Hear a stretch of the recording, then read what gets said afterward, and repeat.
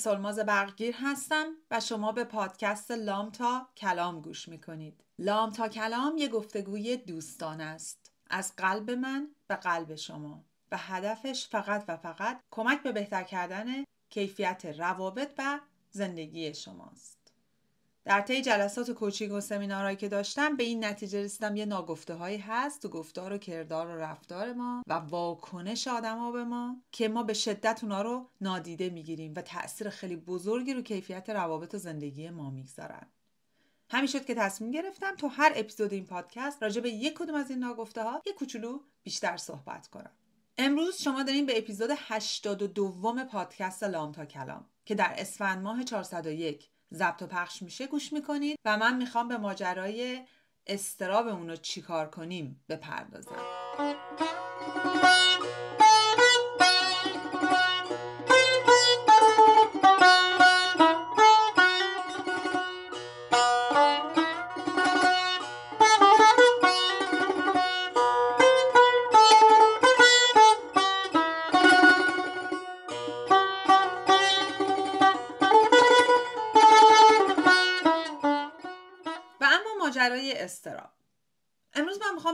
از دو زاویه نگاه بکنم. یه زاویه زاویه استرابیه که ما به هر حال به عنوان یک حس دائم داریم تجربهش می‌کنیم. اصلا دیستراکتیو و مخرب نیست بلکه حتی خیلی وقتا می‌تونه به ما انگیزه بده و سازنده باشه و جزو احساسات و عواطف ماست. ما با خودمون درگش نمی کنیم نمی‌کشیم به تمام روز و ماه و سال و هفتمون بلکه در لحظه تجربهش می‌کنیم. یه واکنش نرماله و توسط محرک های بیرونی در ما استرسورش روشن میشه. ما واکنش نشون میدیم و یه نقطه شروع و پایان داره. می‌تونه به ما کمک کنه و می‌تونه به ما انگیزه بده. اینا همه چیه؟ اینا همه علائم یک استراب بسیار بسیار طبیعی و نرماله. دوستان ما نمی‌تونیم تو زندگیمون بدون استراب زندگی کنیم. به خصوص ما ایرانی ها اصلا همچین چیزی ممکن نیست. ولی ما می‌تونیم از موقعیت های پر استراب آروم آروم و کم کم بیایم بیرون اگر ذهن و روان سالمی داشته باشیم. یعنی بعد از اینی که اون موقعیت استرابزا به پایان می‌رسه ما بعدش حالمون جا میاد به آرامش برمیگردیم و ریلکس میشیم. در واقع ما می‌تونیم به موقعیت های سمی واکنش نشون بدیم. این واکنش می‌تونه استراب باشه ترس باشه هر چی باشه عصبانیت باشه هر چی باشه. اما وقتی تبدیل میشه به اختلال استراب اونجاست که جای صحبت داره. ما امروز می‌خوایم راجع به اختلالات صحبت کنیم. ببینید دوستان یه اتفاق یک بار میفته یک بار. و می‌تونه رو عملکرد روزانه ما اون روز تاثیر بذاره. اگه ما درگش کنیم بکشیمش به بقیه زندگیمون و بشه ماهها و هفته ها اون وقتی که ما دچار اختلال استراب شدیم. یعنی چی؟ یعنی از درون نشخار ذهنی فراوان داریم. یعنی افکار مخرب و بهشون فضا و مکان میدیم. یعنی هر کی در دنیای بیرون هر چیزی بگه ما اضافه می‌کنیم به اون اتفاق درونی خودمون. به اون دیگی که داره میجوشه اضافه می‌کنیم. همش دنبال تایید بیرونی هستیم که بگه که این استراب درسته. کسایی که با ما و استرابمون همسان و هم خون نیستن رو اصلا معتقدیم که اینا ما رو درک نمی‌کنن پس اصلا بهتر نباشن. دنبال آدمای منفی که اضافه کنیم. دچار کمالگرایی ممکنه بشیم. همش با خودمون صحبت های منفی می‌کنیم. بعد دائم به هر تصمیمی که می‌گیریم شک می‌کنیم.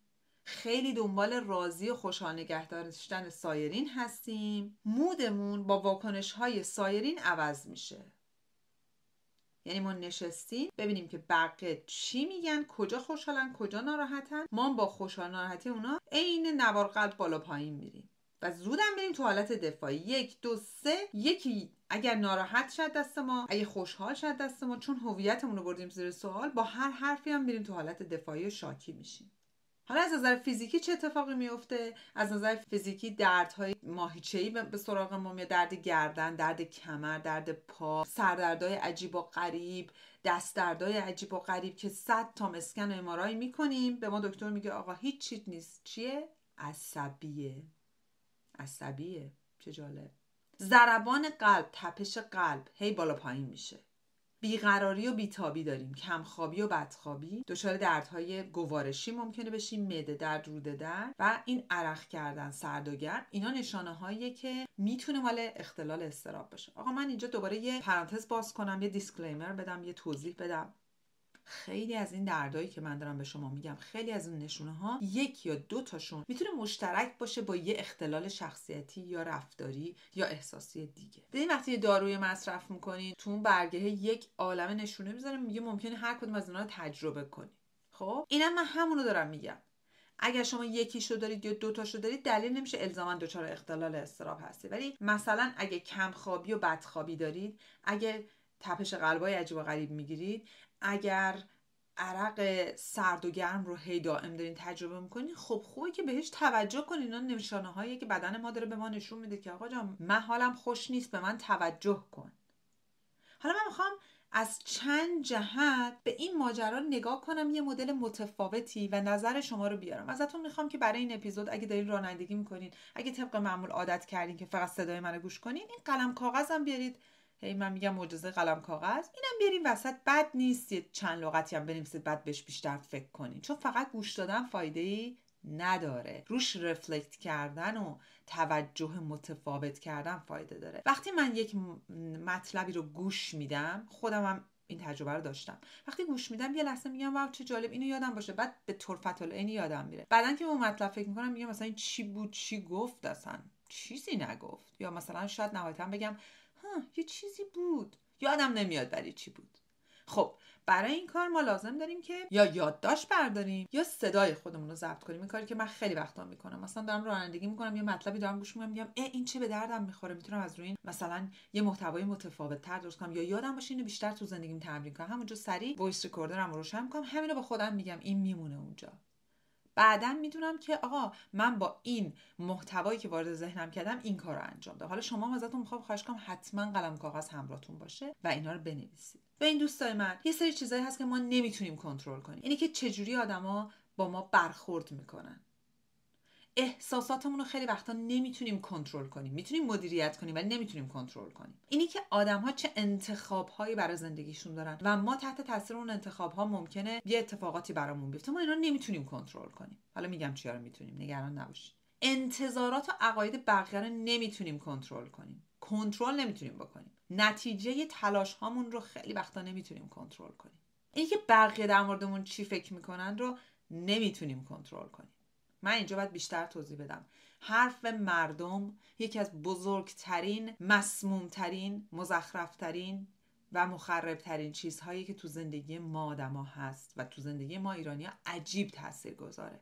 ما اینو نمی‌تونیم کنترل کنیم. مردم خودشون هم یادشون نمیاد که به چی فکر می‌کردن چه جوری فکر می‌کردن. چند وقت پیش داشتم به یه یوتیوبر غیر ایرانی گوش می‌دادم. میگفتش که همون آدمایی که امروز راجع به من این چیز رو دارن میگن همونایی که دو روز پیش داشتن به خاطر همین چیز من رو ستایش می‌کردن. قبلا من قهرمان بودم. الان من یک آدم مزخرف و غیرقابل تحملی هستم. به خاطر همون یک علت به خاطر همون یک دلیل. بنابراین خودش به این نتیجه رسید که ما هیچ وقت جلوی حرف مردم رو نمی‌تونیم بگیریم و نمی‌تونیم کنترل کنیم. ولی واکنش خودمون رو به اون حرف. اینی که مردم راجع به من راجع به بچم راجع به زندگی من چی میگن؟ من کاری نمی‌تونم بکنم. ولی واکنش من به اون حرف می‌تونم کنترل کنم. اینی که چجوری به اختیار بگیرم؟ نحوه برخوردم و با اون حرف دست خودمه.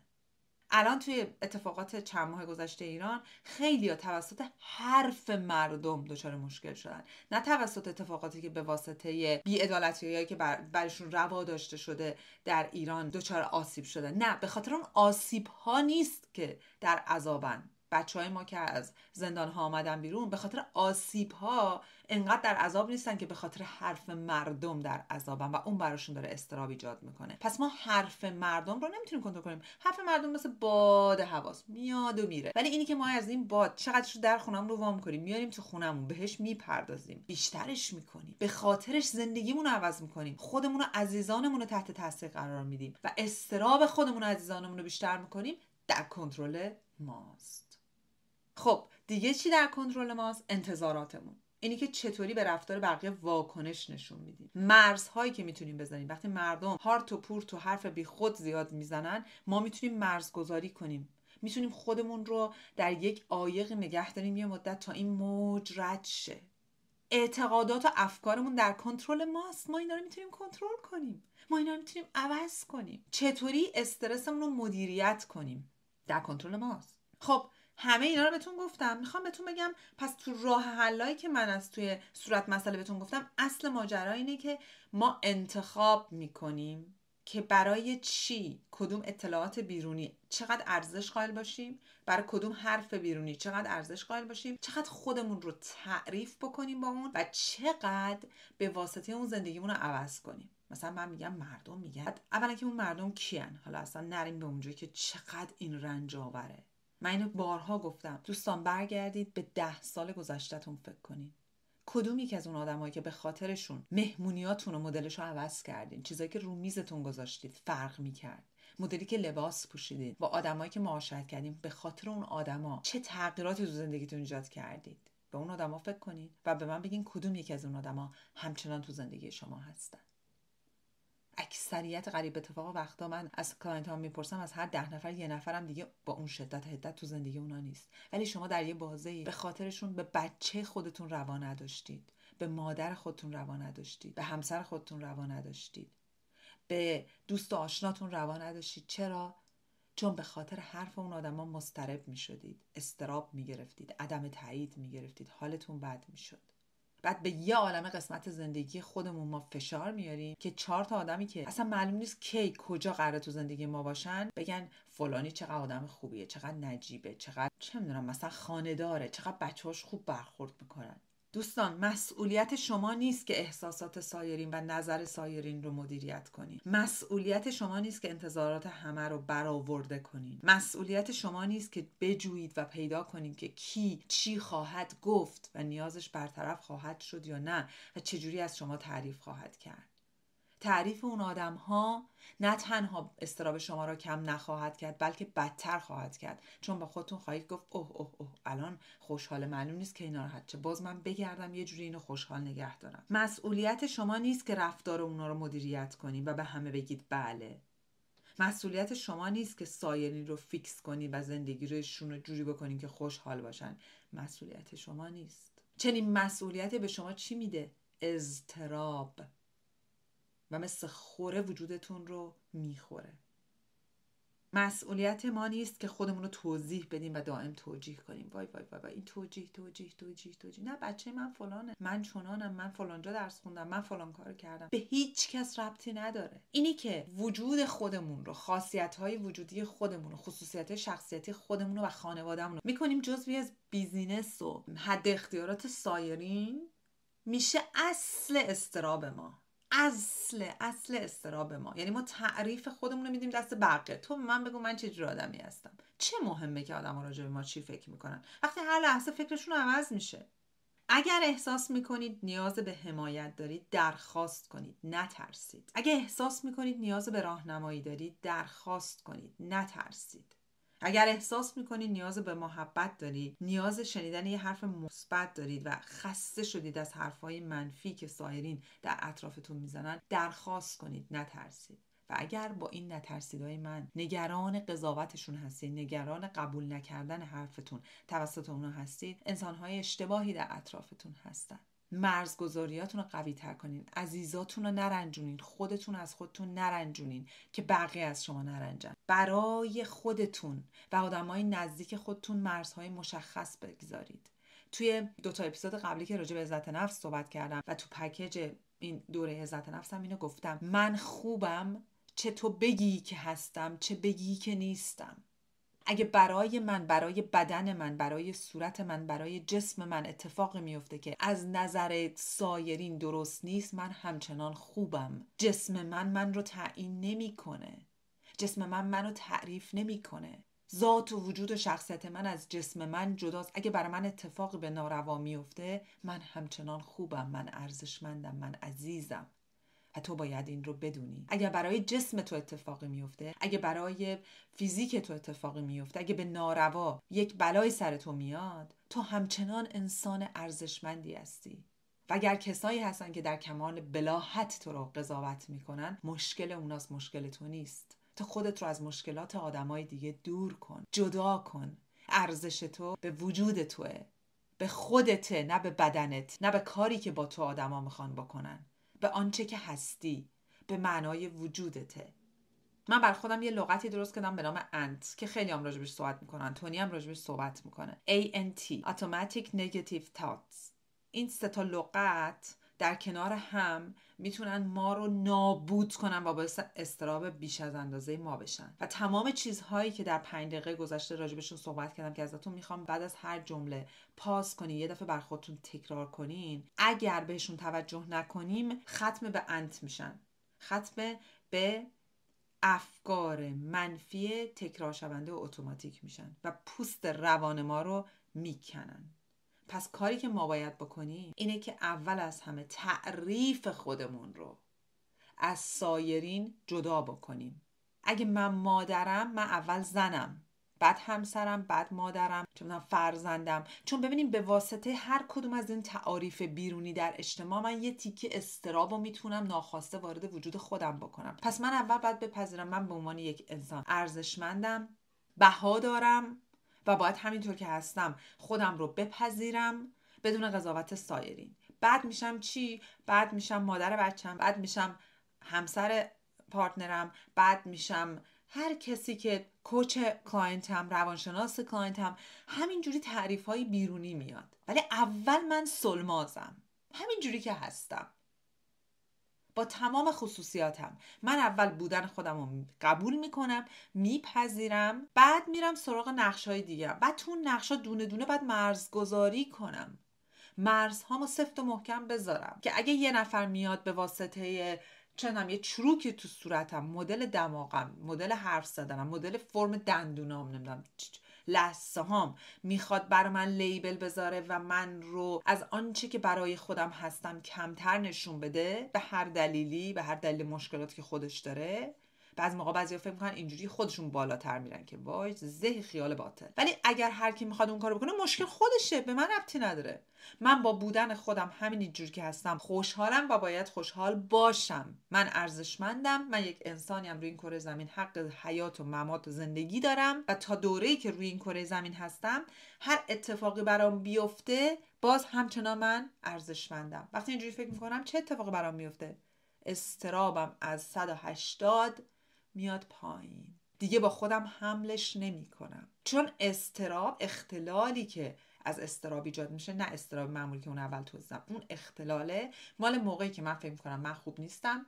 الان که یک اتفاق خیلی بدی بیفته. الان که بقیه دست من ناراحت و ناراضی باشن و من بدتر و بدتر خواهم شد. دوستان این مطلبی که امروز راجع به استراب باتون صحبت کردم ممکنه لازم باشه که چندین اپیزود دیگه بریم به جوانبش بیشتر بپردازیم. اول از همه می‌خوام ازتون خواهش کنم که بابت محتوایی که دریافت می‌کنین براش ارزش قائل باشین و راجبش فکر کنین و بنویسین. با یه بار گوش دادن وای چقدر خوب بود یا این به درد نمیخور نرید جلو. فکر کنین رفلکت کنین بنویسین. و فقط هم رو خودتون تمرکز نکنین لطفا. ببینین یه جایی هست که من بر خودم ارزش کنم بعد برای بقیه هم ارزش قائل باشم دیگه. درسته؟ ببینیم که چقدر سایرین می‌تونن در ما ایجاد استراب و استرس کنن. چقدر ما باعث استراب سایرین میشیم. با قضاوت هامون با لیبل زدنامون با برچسب زدنامون با خوب و بد کردنامون. به اینا فکر کنین و تا می‌تونین بنویسید. آخر روز بنویسید بنویسید چقدر من امروز استراب رو تجربه کردم. چقدر باعث استراب سایرین شدم. چقدر با خودخواهیم توقعهای بیش از اندازم با کوته فکریم یا محدودیت ذهنی ممکنه باعث شده باشم که سایرین هم من برنجن. به ناحق. حالا اینی که قرار با این دانسته و داشته چیکار کنیم به خودتون مربوطه. انتخاب خودتونه که دوست دارین برین عذرخواهی کنین. دوست دارین دیگه تصمیم بگیرین این کار تکرار نکنین. دوست دارین مواظب باشین مرزگذاریاتون رو سفتر بکنین. ایناش به انتخاب خودتونه. هدف من نور انداختن به اون جاییه که مام استراب می‌گیریم یا استراب سایرین منتقل می‌کنیم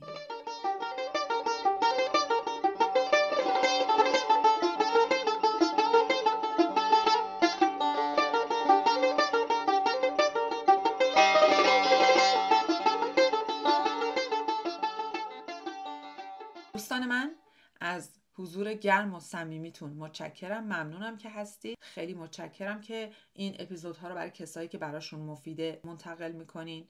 من در تمام طول این 82 اپیزود سعی کردم محتوای رایگان رو برای شما منتقل بکنم. نه با ایجاد توقع که وظیفمه بلکه هدفم این بوده که اون چیزی رو که می‌دونم و بلدم یه جوری خیلی ساده خیلی بیسیک برای شما انتقال بدم. خیلی وقت راهکارا رو نمی‌تونم به طور عموم بگم برای اینکه درست نیست. هر کسی ممکنه یه راهکار خاص خودش رو داشته باشه ولی چیزایی که می‌تونه عمومی باشه چیزایی که داره رو فرهنگ ما ایرانی ها تاثیر بذاره رو هر جای دستم برمیاد براتون اینجا توضیح میدم. چند وقت پیش یکی از کامنت های غیر ایرانی پرسید چرا پادکست تو به زبان فارسی فقط داری میدی؟ چرا برای ما پادکست نمیدی؟ گفتم برای اینکه خیلی از چیزایی که دارم میگم برای شما شاید بدیهی باشه. ولی من لازم دارم رو فرهنگی کار بکنم که سالهای سال به دلایل متفاوت روی قسمتهای مختلفش آسیب خورده. خیلی از چیزهایی که من اینجا توی کانادا دارم می‌بینم و میشنوم مثل concept bully کردن مثل آسیب روانی به سایرین رسوندن. نمیگم وجود نداره وجود داره ولی آموزش هم خیلی داده شده. پس میزانش کمتر از مملکت منه. توی ایران اینا هنوز توی فرهنگ ایرانی اینا هنوز به اندازه کافی جا نیافتاده و من رسالت خودم دیدم که اینا رو راجع بهشون بیشتر صحبت کنم. پس ازتون خواهش می‌کنم. برای هر کسی که فکر می‌کنین این اپیزودها می‌تونه حتی یه درصد مفید باشه. اینا رو بفرستید و ازشون بخواین که راجب چیزایی که میشنون یه چند خط یادداشت بردارم بر خودشون داشته باشن. از همراهی گرمتون متشکرم. مهدی پسیان عزیزم ممنونم از موسیقی متن. و سمانه جان متشکرم که با این عشق و دقت صدای من رو ادیت می‌کنی. دلتون شاد و تنتون سلامت.